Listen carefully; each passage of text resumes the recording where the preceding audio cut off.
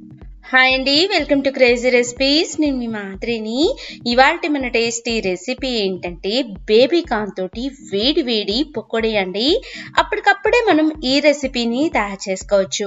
చాలా సింపుల్గా ఈజీగా చేయొచ్చండి. ఎవరన్నా చుట్టాలు వచ్చారనుకోండి ఇలాగ స్పెషల్గా చేసి పెట్టండి. చాలా ఇష్టంగా మెచ్చుకుంటూ తింటారు. ఇక్కడ నేను ఒక నాలుగు నుంచి ఐదు బేబీ కార్న్ని తీసుకున్నాను. ఇవి మనకి ఏ సూపర్ మార్కెట్లో అయినా దొరుకుతాయి. దీని మీద ఉన్న కార్న్ తొక్కల మొత్తాన్ని కూడా తీసేసి ఇలాగా నీళ్ళల్లోకి యాడ్ చేసుకోండి. అలాగే ఒక చిటికెడంత పసుపు ఒక అర స్పూన్ కళ్ళుపుని వేసి ఈ బేబీ కార్న్ని కనీసం ఒక రెండు మూడు పొంగులు వచ్చేదాకా ఉడకనివ్వండి.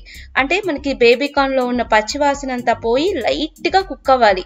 ఎక్కువ అవసరం లేదు. ఇలాగా రెండు మూడు పొంగులు వచ్చాక స్టవ్ ఆఫ్ చేసేసి దీంట్లో ఎక్స్ట్రాగా ఉన్న వాటర్ మొత్తాన్ని కూడా తీసేసి ఇలాగా కార్న్ చల్లబడ్డాక చిన్న చిన్న రౌండ్ పీసెస్ లాగా కట్ చేసుకోండి.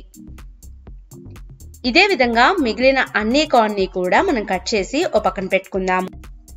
ఇప్పుడు వీటి మొత్తాన్ని కూడా మనం ఒక వెడల్పాటి బౌల్లోకి యాడ్ చేసుకుందాము. దానికన్నా ముందుగా ఆ బౌల్లోకి ఒక రెండు స్పూన్ల మైదా పిండిని అలాగే ఒక స్పూను కార్న్ఫ్లోర్ పౌడర్ని యాడ్ చేద్దాము. యాక్చువల్గా మీరు మైదా పిండి ఎంతైతే తీసుకుంటారో దాంట్లోకి సగం మాత్రమే కార్న్ఫ్లోర్ పౌడర్ని యాడ్ చేసుకోవాలి.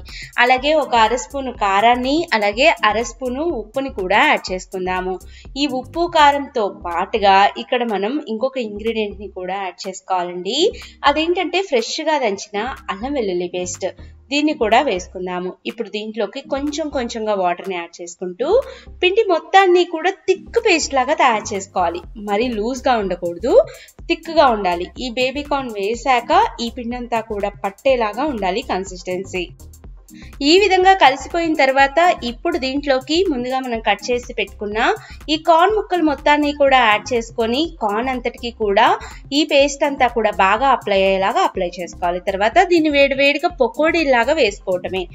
చాలా సింపుల్గా చేసుకోవచ్చు అండి కానీ స్టార్టర్ కింద చాలా టేస్టీగా ఉంటుంది. స్టవ్ మీద బాండీని పెట్టుకోండి. బాండీలోకి నూనెని యాడ్ చేసుకొని నూనె అంతా కూడా వేడయ్యాక ఒక్కొక్క కార్న్ని నెమ్మదిగా డ్రాప్ చేసేయండి. ఇలాగ డ్రాప్ చేసిన వెంటనే ఏ డీప్ ఫ్రైని కూడా వెంటనే తిప్పకూడదండి. తిప్పితే మొత్తం పిండి అంతా కూడా అయిపోతుంది. ఇలాగ రెండు నిమిషాల పాటు ఫ్రై అయ్యాక అన్ని వైపులకి తిప్పుకుంటూ వీటి మొత్తాన్ని కూడా ఇలాగ మంచి గోల్డెన్ కలర్ అయ్యేదాకా ఫ్రై చేసుకోవాలి. ఇదే విధంగా మిగిలిన కార్న్ మొత్తాన్ని కూడా తయారు చేసుకొని మనం ఒక పక్కకి పెట్టుకుందాము. సేమ్ ఇదే ప్రాసెస్ తోటి మనం మంచూరియాని కూడా తయారు చేసుకోవచ్చు అండి జస్ట్ సాసెస్ యాడ్ చేస్తే సరిపోతుంది. కానీ పిల్లలు ఇలాగ పకోడీలు వేస్తేనే తినేస్తారు. ఇష్టంగా అంత టైం దాకా కూడా మీకు ఇవి మిగిలే ఛాన్సెస్ ఉండవు.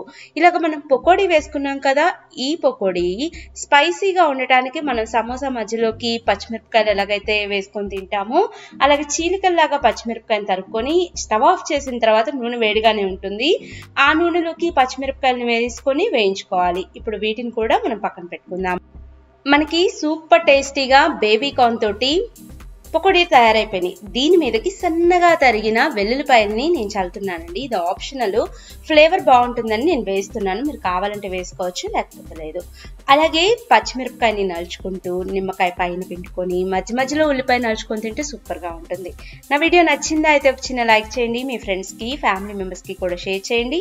మరిన్ని వీడియోస్ కోసం క్రేజీ రెసిపీస్ని సబ్స్క్రైబ్ చేయండి. Thank you bye bye.